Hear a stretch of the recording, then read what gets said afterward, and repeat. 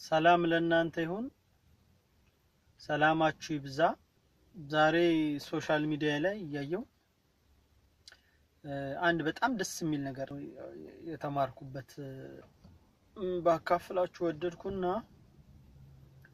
ምንድን ነው በጭንቀት ዙሪያ ነው ቪዲዮ እና በ class ውስጥ በትምህርት ቤት ውስጥ ቁጭ ብለው የሚማሩ ተማሪዎች እና አስተማሪ ለተማሪዎቹ ምሳሌ ሲሰጥ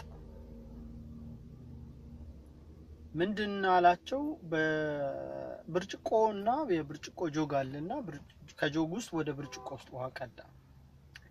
ከቀዳ በኋላ ብርጭቆውን አነሳው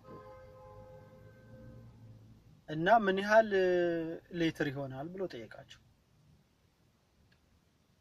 ግማሾቹ ስምንት ሚሊ ይሆናል፣ ግማሾቹ አስራ ስድስት የራሳቸውን ግምት ገመቱ።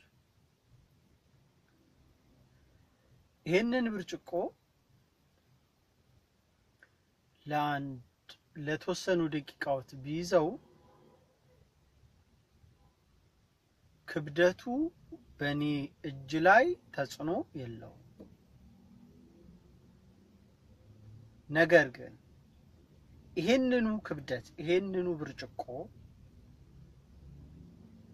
ለሰዓታ ቢይዘው በሰዓት ውስጥ አንድ ሰዓት ወይ ሁለት ሰዓት ቢይዘው እጄ ይዝላል፣ መሸከም ያቅተኛል። በቀን ደግሞ እንደ ቀን ጠንካራ ሰው ሆኜ ቢይዘው እጄ መሸከም ያቅተዋል። paralyze እስከመሆን መስራት ይሄን ጨብጦ መያዝ እስኪያቅተው ድረስ እጄ fade ያደርጋል፣ አቅም ያጣል፣ ይዝለፈለፋል። ይኸው ብርጭቆ።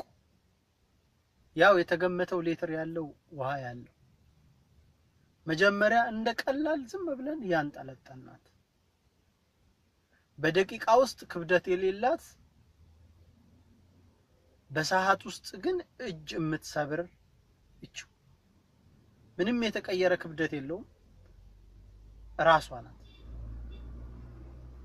ጭንቀት እንደዚህ ነው።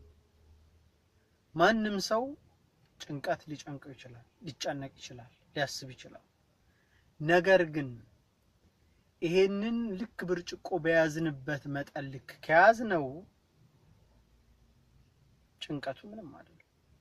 ምክንያቱም በዛች ደቂቃ ውስጥ ይዘን እናስቀምጠዋለን፣ እንተዋዋለን።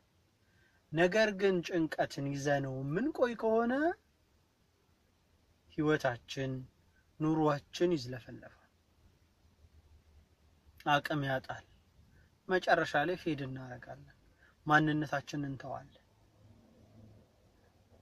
ጎላችን፣ ህልማችን፣ ህይወታችን ሁሉ በዛች ደቂቃ ውስጥ መያዝ የነበረበት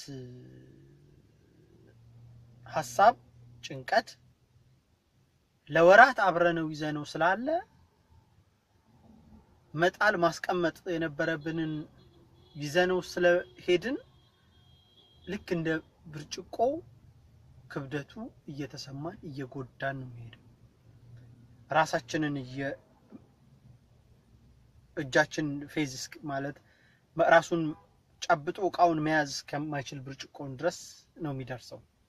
ጭንቀትም እንደዛ ነው። አይምሯችን ያቺ ትንሽዬዋን ብርጭቆ ብርጭቆውን ማስቀመጥ ወይም መተው መልቀቅ የነበረብንን ይዘነው ቁጭ። ጭንቀት እንደዚህ ነው። ስለዚህ የሚያስጨንቀን ነገሮች ካሉ፣ የምናስባቸው ነገሮች ካሉ ጊዜና ገደብ ሊኖራቸው ይገባል። ስለዛ ነገር ባብሰለሰልን ቁጥር ልክ እንደ ብርጭቆ ክብደቱን እየጨመርንለት ነው ጭንቀቱ የሚመጣው። ክብደቱ እየተጨመረ ሲሄድ ደግሞ አይምሯችን እየጎዳ ነው የሚመጣው። በዛው ሰዓት ቶሎ መልቀቅ ነው፣ መተው ነው።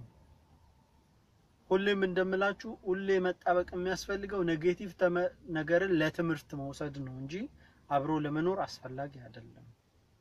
የሚያስፈልገው positive ነገር ነው። በ negative ውስጥ positive ማምለጫ መንገድ ይዞ በዛ መውጫ መንገድ ማሰብ ነው። አብሮ በቆዩ ቁጥር ጉዳቱ ወደ ራስ የሚመጣው ራስን ማጣት ነው። ለራስ አለመሆን ነው የሚያመጣው።